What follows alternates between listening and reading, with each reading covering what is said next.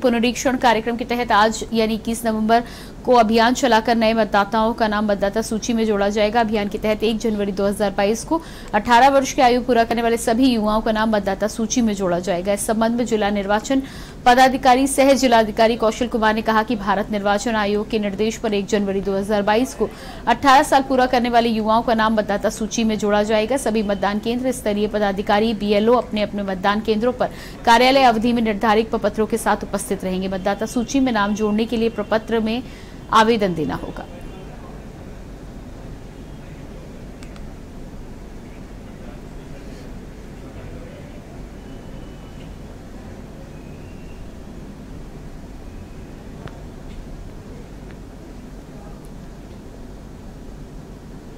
bulletin में